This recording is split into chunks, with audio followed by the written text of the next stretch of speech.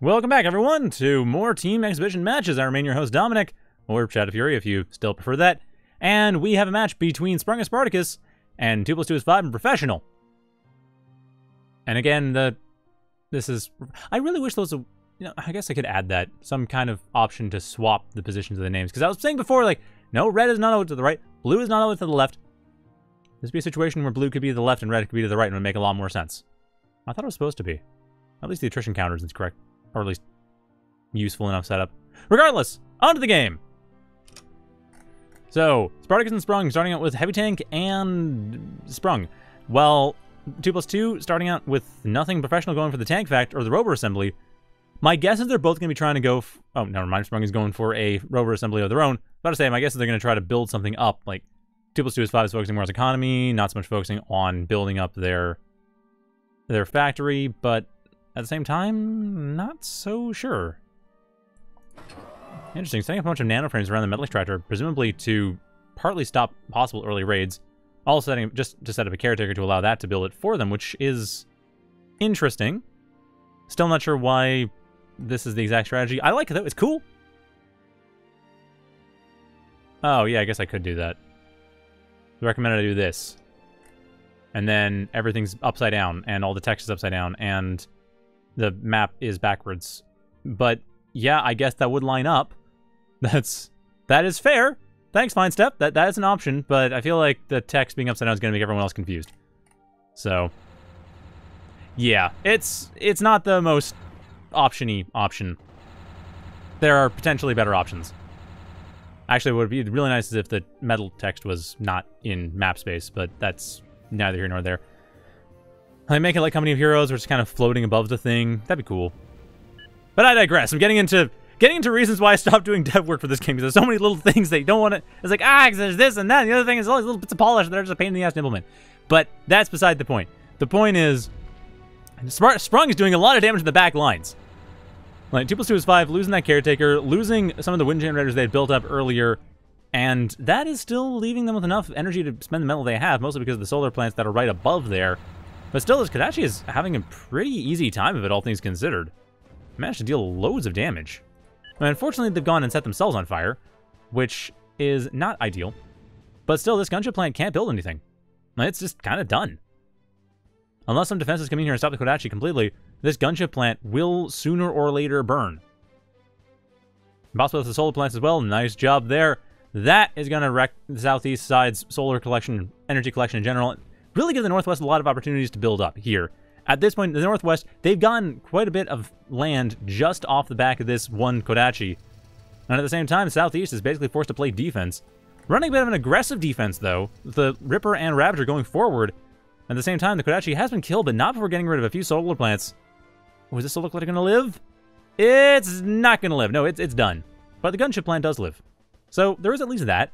Some of the power infrastructure was destroyed, and that's money that's has to be re reclaimed back, but that's still 300 money or 300 metal reclaim. So it's something. But yeah, at this point, the the counterattack coming in here from Brofessional is finding a bit of a hard time actually getting in. Scorches are in place, and now that the gunship plan has been seen, Crashers have been built up just in case. And that looks like it's not going to be a big problem yet. We'll be eventually. I'm kind of curious that 2 plus 2 is 5's approach is just build build the nanoframes of wind generators and then build it from there. Not a terrible idea, all things considered, since at this point Southeast doesn't need the power. But they will eventually, and the caretaker, when that's up, will allow that, and then, of course, will help build up other stuff. That's a neat idea. I mean, it's a bit risky if you don't have a teammate that's able to cover you, so I don't expect to see it in 1v1 ever. But it is kind of a neat idea, especially if you do have a frontline presence and your opponent's not likely to go around the back and destroy all the nanoframes. And even if they do, well, that's not a whole lot of metal spent. So that's pretty clever. I like it. Unfortunately, this Scorcher's... No, it's not, no, it's not caught. There, there should be a way out of there. So I was saying, unfortunately, they're caught between all of this stuff, but no, they're, they're fine. Still, though, what's really fine is Northwest's economic situation. At this point, with a quarter of the map, actually a third of the map to their name, 34 metal on static economy alone, with a bit of overdrive to boost that. And haven't even gotten to the geothermal plants yet. Get one of those, get pylon set over to the rest of the metal extractors, and you've got loads of metal. You're just flush with metal at that point.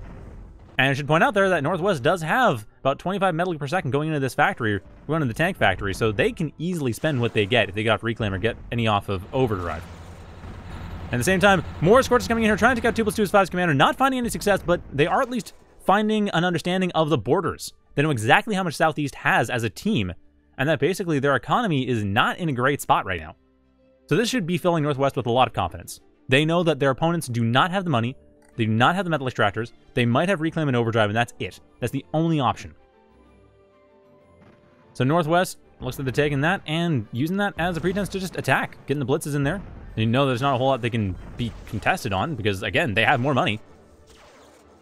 And at the same time, they are continuing to expand because, of course, you would. You know your opponents don't have much money, thus they don't have much army, which means they can't really stop you building up.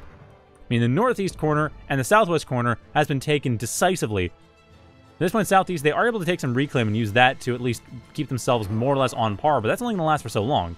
Each of these Reclaim patches is only going to be about 10 seconds worth with the Commander on it. All things considered, Northwest is having a dominating presence. And I'm not really sure what Southeast could do right now. The thing is, they don't have anything that's really good for crowd control. They could maybe build up a Nimbus. It'd be a, it would be a moonshot, but considering that they are dealing with a lot of small, weak forces, that's an option. There is a Crasher up, but it's not going to be nearly enough. Not for a Nimbus.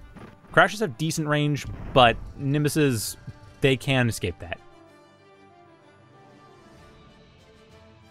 All things considered, though, the Northwest team, they're only ahead by about 15 medals, so there is a slight possibility, especially with the Reclaim coming in here, Brofessional's being pretty good about that. So there's the possibility that, built smartly and with maybe a bit of overdrive in the back lines to support it, the Southeast team could get their economy back on track even with less territory for the time being. Obviously, that won't last for long, but yeah, like, rebuild this metal extractor, add a couple more wind generators for a bit more power. Maybe it'll work. Especially the Northwest team is starting to excess a little bit. In terms of effective production capacity, they aren't that far ahead, still about 15 metal or so. So Southeast, whenever they reclaim, they do have options. But again, I'm very surprised that the gunship plant has not been used to build anything. I think, like I said, the the Crashers, bit of a threat, but all things considered, there are options that would allow for crowd control that are better, that are easier to find in the gunship plant than they would be in the rover assembly. Because what do you have in the rover assembly? You have the Badgers. Well, that's okay, but it's not the best thing in the world. And maybe Impaler, if that's one at a time. The Rippers are not really good at dealing with fast units like the Blitzes when it comes to actual crowd control. Unless the Blitzes come to them, as we just saw right there, but otherwise, no. So yeah, Rover Gunship makes it a little bit hard to actually set up proper crowd control when your opponents do have anti-air. And at this point, that is exactly what's happening. No real crowd control has been set up. This gunship plant has essentially been doing nothing the entire game. Brofessional has been building up most of the army, and at this point, this is this is where it ends. Because Sprung coming in here, walking into the base with a bunch of Ravagers and a handful of Rippers, there's nothing stopping them. They can just waltz right in here, smash up all the metal extractors, smash up all the defenses, smash up all the metal extractors, like, they just have the advantage in terms of HP. They have the advantage in terms of firepower. And they definitely have the advantage in terms of re reinforceability. So with this, I mean, there's no clear Hail Mary pass coming in here from the Southeast team. And the Northwest team is excessing, but honestly, I don't think they care. They have the Caretaker coming up, and they have a bit more metal being pushed into the factories, but really, they've got plenty of units, plenty of cash, and they're able to just wreck all the faces. So Southeast team, bit of shame there. Like I said, I don't understand why the gunship plant wasn't used at all.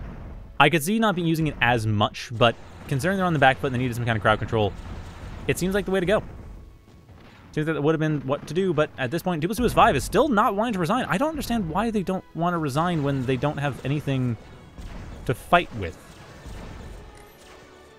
Like, what is their plan? They have the Cornea but they don't have the money to make that work. Their commander is upgraded to the point of being a Strider, so that's clearly part of their idea of how to deal with this. Sprung's commander is in a bit of a tight spot. I think they're dead. and, yep, they are indeed dead. But at this point, that's too little too late. The Southeast team has lost all their factories. They've lost, well, at least have lost the factories they're planning to use. And they've lost everything else. I mean, it's just 2 plus 2 is 5. I guess they figured maybe their one commander can deal with this, but no. No, it really can't. Not the entire army that's bearing down on them. This is going to be death. I admire their valiant spirit, but now that they've been spotted, we're just going to see everything surround them. I mean, the factories are dead. All the power structures are dead. All the metal structures are just about dead. Once this commander goes down, there literally will be nothing to rebuild this. And that time is now, as 2 plus 2 is 5 will be surrounded by all the blitzes. And that's going to be a EMP setup, massive stun setup, and from there, there's going to be torn to pieces by lightning. So with that, 2 plus 2 is 5 goes down, and so does the rest of their base. I don't see why they aren't surrendering now. They're... Are they seriously just playing the troll game? Like, you have to destroy all my base? That's really rude. Yeah, they're literally playing that you have to destroy all my base before I let you win game. I don't even understand. Well, at any rate, that was that. So, Sprung and Spartacus, good job managing to tear apart 2 plus 2 is 5 and Brofessional. I still think a lot of it just came down to the fact that 2 plus 2 is 5 did not build up anything. They had their factory, and it didn't do anything. And Brofessional, they had theirs, and it helped a bit, but they were dealing with a team that was complete. The, both the tanks and the rovers did their job, and if you look at the way that everything's spread out, I mean, you have Spartacus over to the northeast, sprung over to the southwest, kind of split it in half. They were able to defend their sides, and along the center, they were able to work together. So it worked out really well for them. Whereas in the southeast side, it just didn't have that same value. Like, ultimately, the southeast army value never even broke 1600. So a bit of a shame that. But anyway, the next match should be a lot more even. It's going to be a match between Pro Randy and Exist versus Rar and Kingstead. It's going to be on Ravaged, and it'll be up in a couple minutes, so stay tuned.